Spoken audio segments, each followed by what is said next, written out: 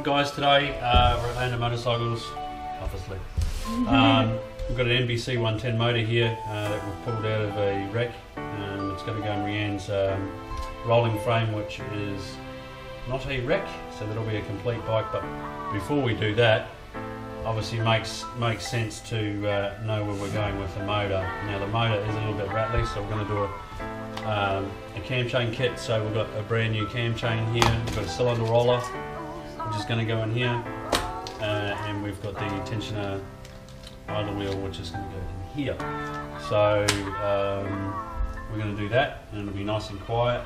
And yeah, we'll time lapse it, so you obviously don't have to see us doing little bits at a time. Go team. Okay, so here are the tools we'll be using, two different rattle guns. Okay, here is the cam chain that we will be replacing. And here are the rubbers that we will be replacing also.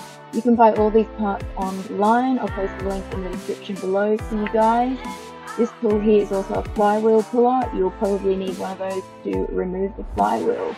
Okay, let's get started.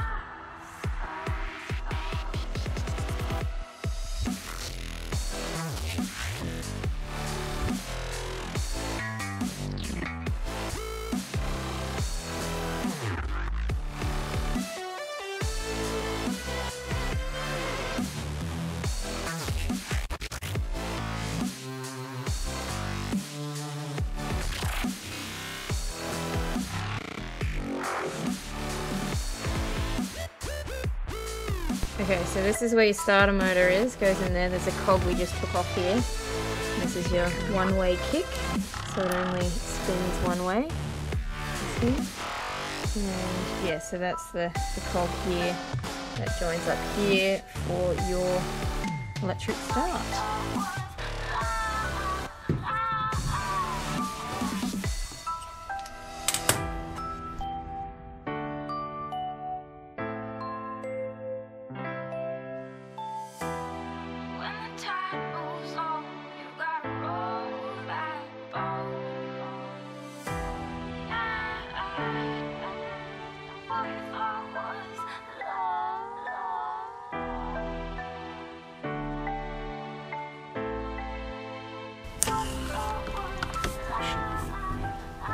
If it's a top dead.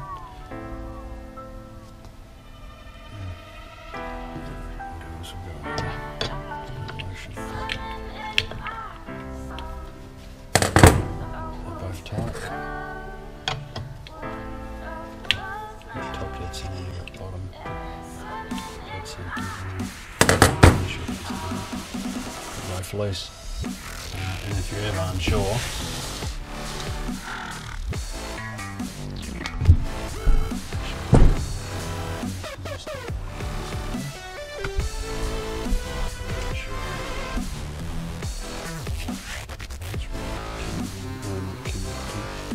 Never sure you just look and see if you can see the piston, and you can see the piston in there.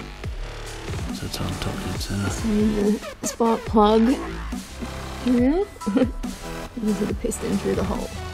Okay, that's cool. Yeah, so this is just obviously we're doing sort of entry level stuff that someone that might not have all the tools and everything. It's always, you know, old school's the best way to know stuff. Um, Alright, so now we're going to need to pull this off, and it's, oh my god, it just came straight off. So normally I would need the puller, Yeah. and that would screw into there, and then the Yeah. the shaft would actually kiss the the, uh, the, um, the crank there.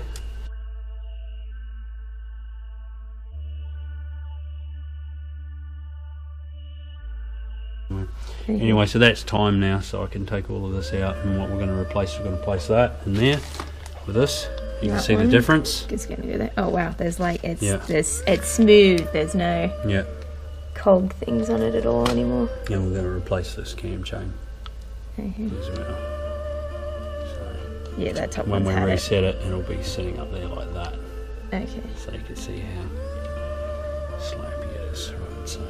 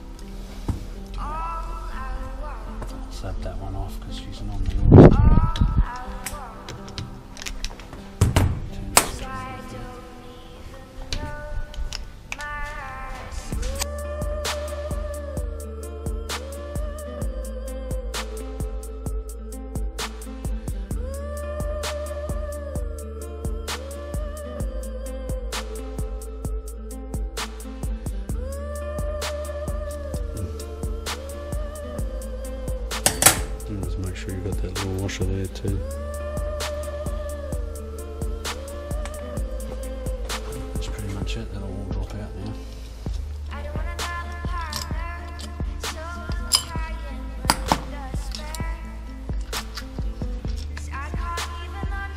Go either way with the roller. Doesn't matter. I'm gonna get it out. Just pull the old bits off. What you can do is you can give it a visual inspection as well once you've got everything off.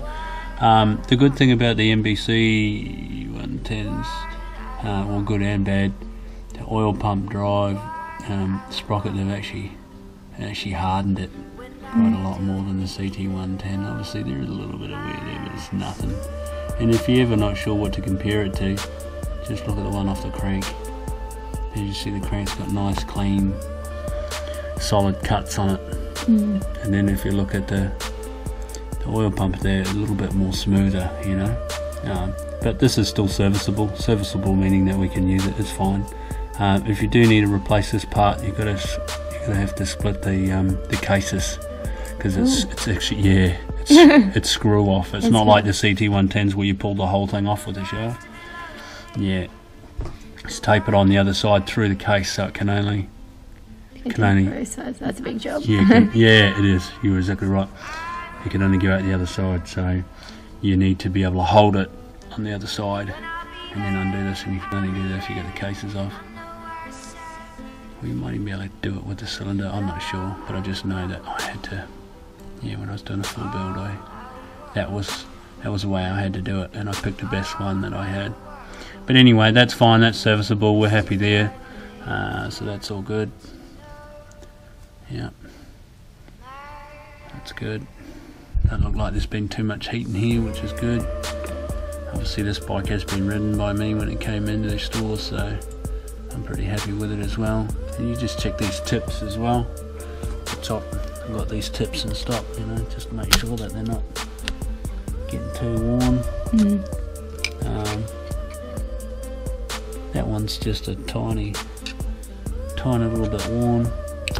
So we might, we might even replace that when we, you know, we're here anyway. We might even do that, you know, just so it's all Mickey Mouse. Alright, so now we'll load the new stuff on.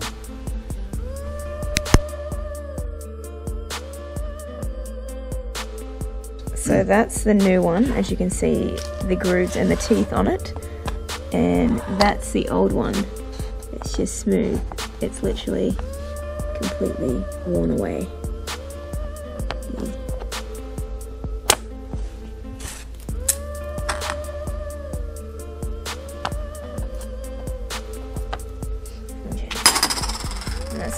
This one. That's the old one. That's the new one. So it's a lot smaller and the top bit here, as you can see this groove is gone as well, see? That's why you got to do your regular services, make sure everything's working alright, you know, because rubbers, as they do these days, they don't last, so yeah.